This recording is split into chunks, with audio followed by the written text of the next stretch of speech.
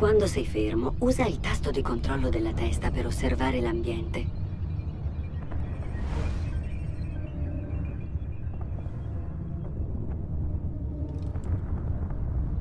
Bene. Usa la mano nuda per camminare tra questi portatori di giare senza causare il versamento del loro contenuto. Procedi verso l'indicatore per continuare il processo di sincronizzazione.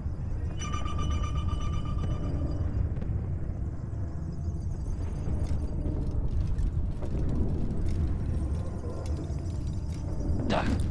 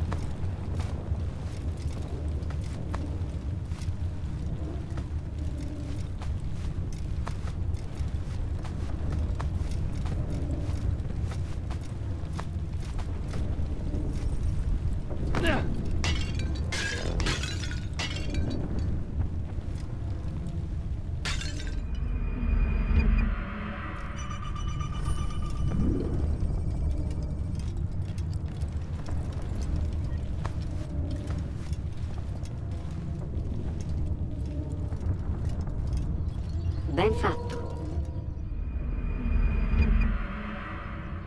L'Animus distingue due tipi di azioni fondamentali, basso profilo e alto profilo. Le azioni di basso profilo sono socialmente accettabili. Le azioni di alto profilo sono più orientate all'azione. Tieni premuto il tasto di alto profilo per vedere come l'interfaccia muta il contesto degli impulsi di controllo.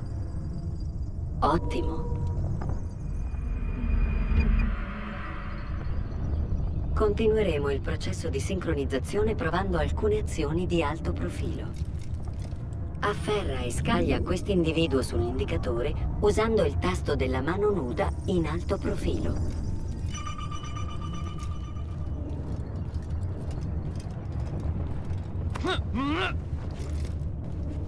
Bene. Usa il tasto delle gambe in alto profilo per scattare. Ciò è utile per seminare i soldati o per avvicinarti a una vittima in fuga.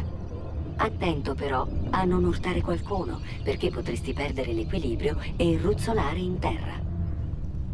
Raggiungi correndo l'indicatore prima che lo faccia quest'uomo.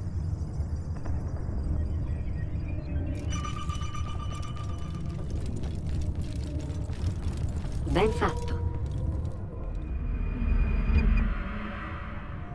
L'Animus fornirà anche altre importanti informazioni.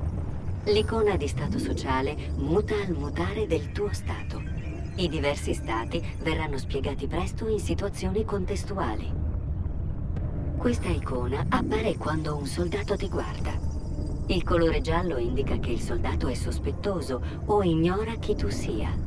Per illustrare il cambio nel livello di consapevolezza, assassina furtivamente questo soldato. Prima punta sul tuo bersaglio. Ora seleziona la tua lama nascosta.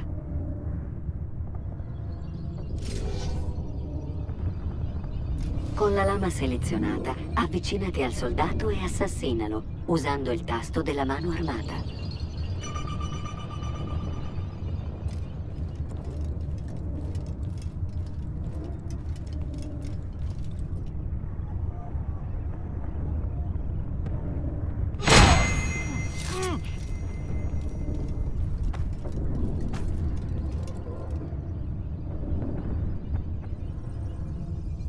Insomma, c'è un assassino nei paraggi.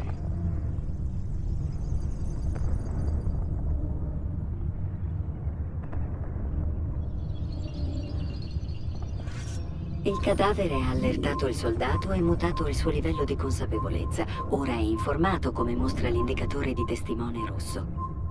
A questo punto è probabile che azioni aggressive o una condotta socialmente inaccettabile provochino una risposta armata. Provoca il soldato.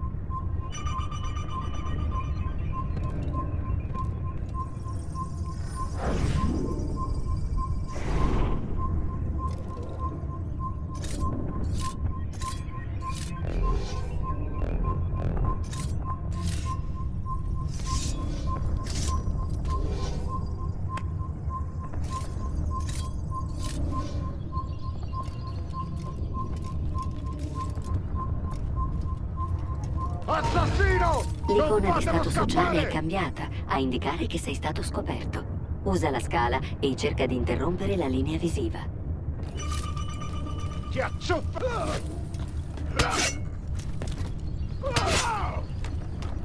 Non mi sfuggirai! Conosco bene questa... Ottimo. La linea visiva è stata interrotta. Corri nel giardino pensile per nasconderti al soldato.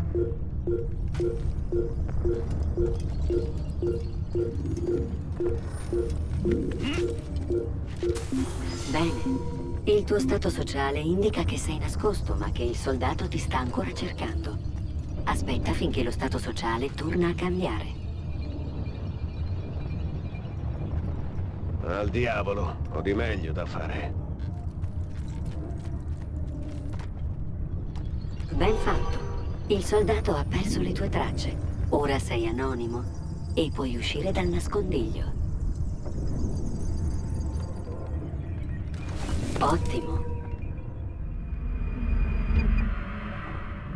Restare anonimo alimenterà la barra di sincronia e renderà più agevole il tuo lavoro di assassino.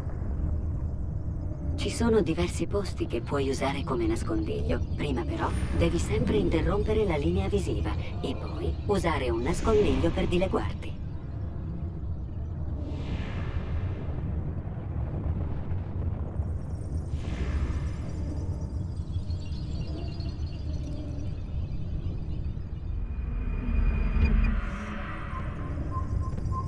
Proseguiamo con una dimostrazione di mimetismo.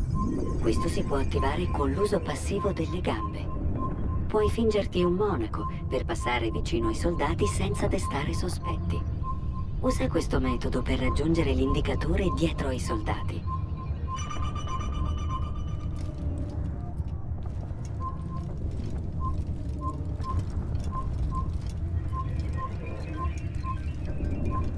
Assassino pagano!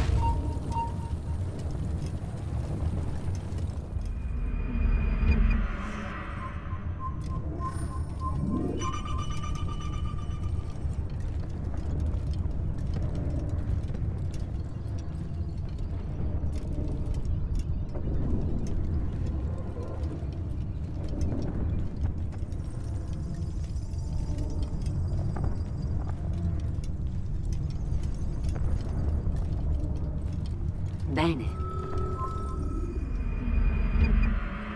Ora che sei in piena sincronia, hai a disposizione una nuova abilità, l'occhio dell'aquila. Questo sesto senso aiutava il tuo antenato a capire le intenzioni di chi gli stava intorno.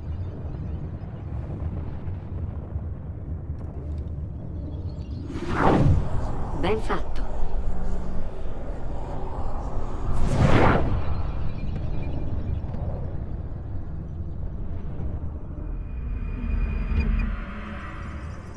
Ricorda, potrai sfruttare l'occhio dell'aquila solo quando sarai in piena sincronia.